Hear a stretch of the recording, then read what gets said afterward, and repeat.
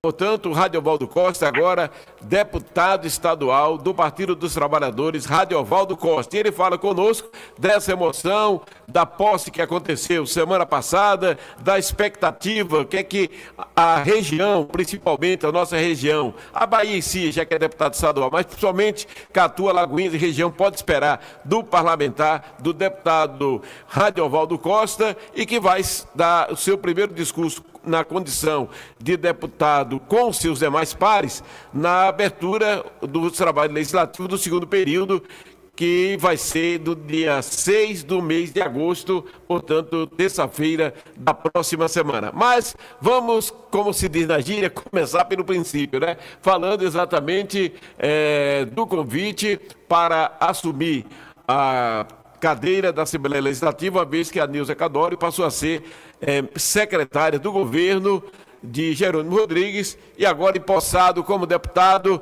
Parabéns, um abraço, nosso cordial. Boa tarde, Rádio Valdo Costa, deputado estadual.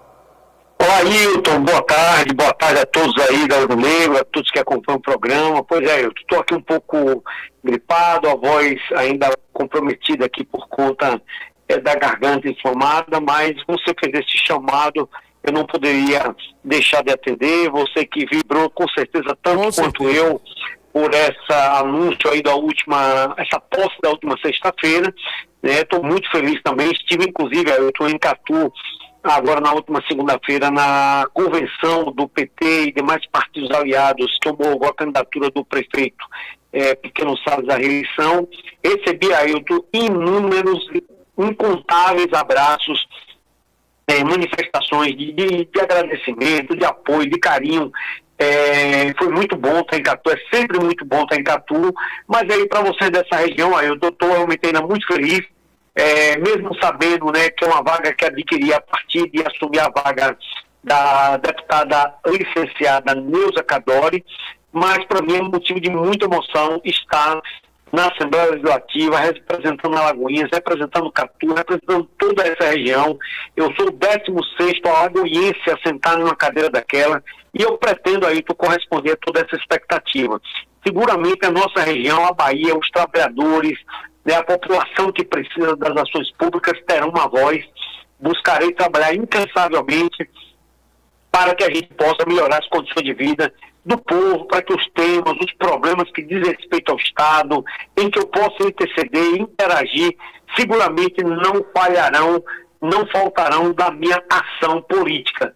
Isso é um compromisso que assumo, né? Vou fazer um planejamento de atuação do mandato, vou fazer um planejamento de ações, aquilo que a gente vai estabelecer como prioridade.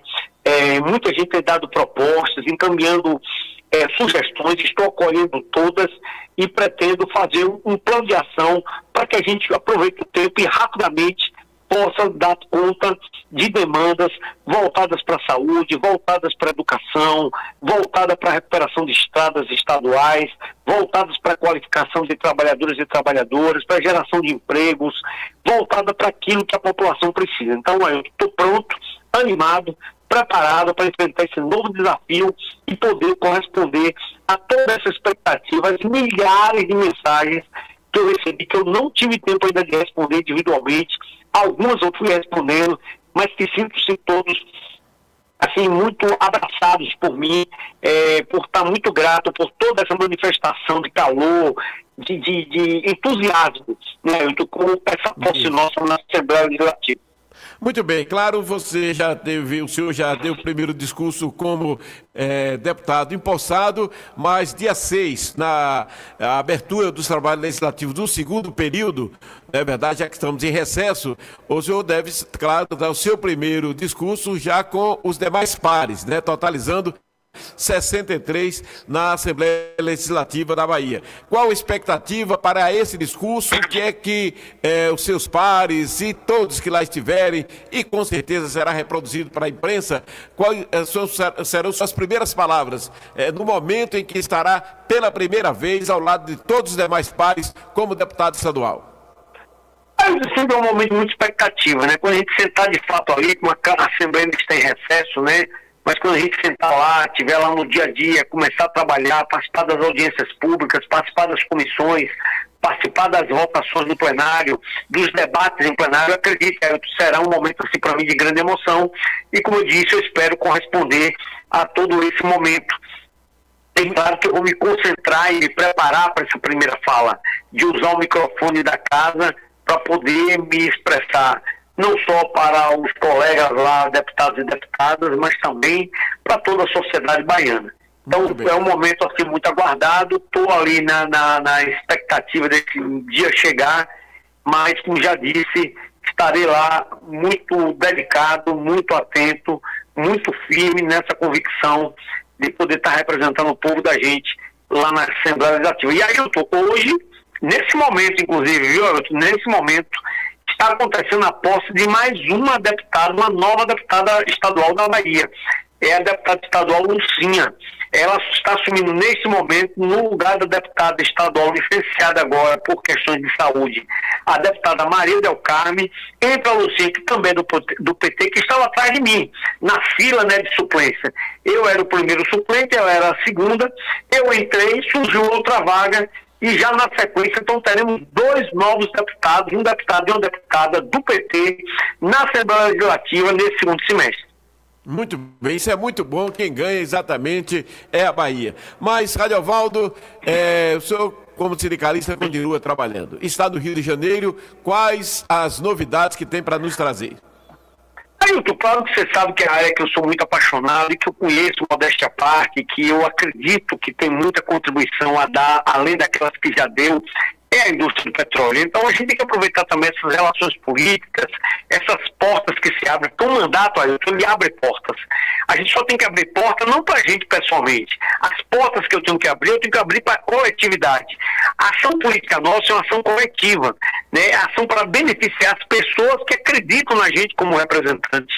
Então eu estou usando justamente essa condição agora de deputado estadual para poder abrir, portas, conversar com empresas, ver como gerar emprego, ver como como garantir benefícios para comunidades. Então, isso eu pretendo fazer muito nesse segundo semestre. E uma das coisas que estou acompanhando é, são questões relacionadas à geração de empregos aí na área de petróleo, nessa região de Catu, de Alagoinhas, de Entre Rios, de Pujuca, de São Sebastião. Tem vários processos licitatórios em aberto da Petrobras e desses processos licitatórios devem gerar muitos empregos. O principal, Ailton, é a licitação de sondas, que será, sairá o resultado no próximo dia 5 de agosto. A Bahia, a partir de janeiro, terá rodando a maior frota de sonda terrestre do Brasil. Serão 24 sondas contratadas para a Petrobras, 3 de perfuração, 21 de, de produção.